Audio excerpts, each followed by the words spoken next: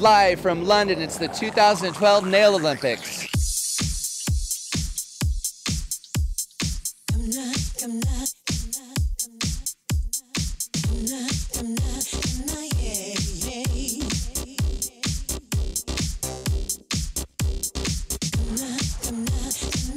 This year is the best we've had yet. This competition has grown.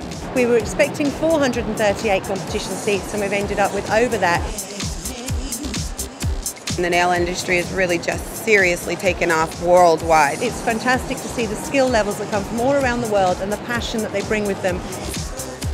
We've got at least 24 nations, over 150 competitors taking over 140 competition seats. We're running eight categories over three days. Um, it's an awesome experience, really, to be part of this.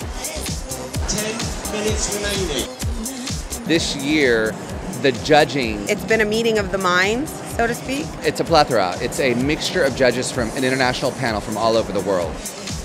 The judging regime is so precise. There's maybe for one competition, five judges. I've always loved judging those those competitions. It's been cool getting back to my roots too and judging, you know, acrylic sculpture and getting back to the the basics of C curves and apexes and lateral folds and shapes and smile lines and it's it's technical. And the fantasy has blown the judges away today. The intricacy of the work has been phenomenal.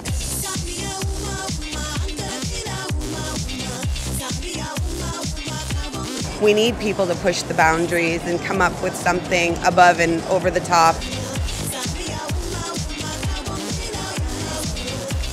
So what's lovely about the fantasy side is that it's a really artistic medium where you can take your brush skills that you might use in the salon but really go to town with them when it comes to fantasy because you can create anything with liquid and powder.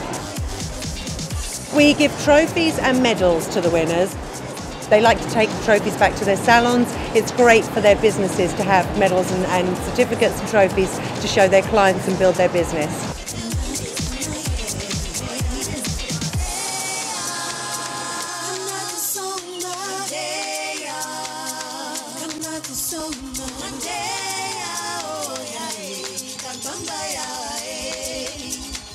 I'm not, I'm not.